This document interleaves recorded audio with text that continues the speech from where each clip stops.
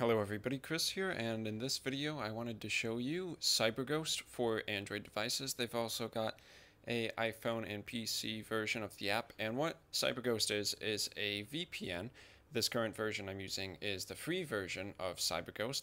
And uh, what it'll basically do is take your location and put it somewhere else in the world. So if you're trying to access websites or games that aren't permitted in your current country, this is one good way you can get around that. And you can see on screen there's a lot of extra features if you do happen to upgrade to the Pro version.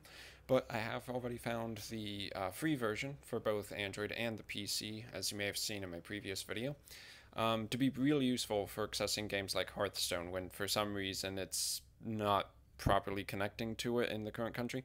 So anyway, all you have to do to actually use this app once you install it is just to hit the button at the bottom. It's incredibly simple, even easier than in the PC version, which is impressive because the PC version was already pretty easy too.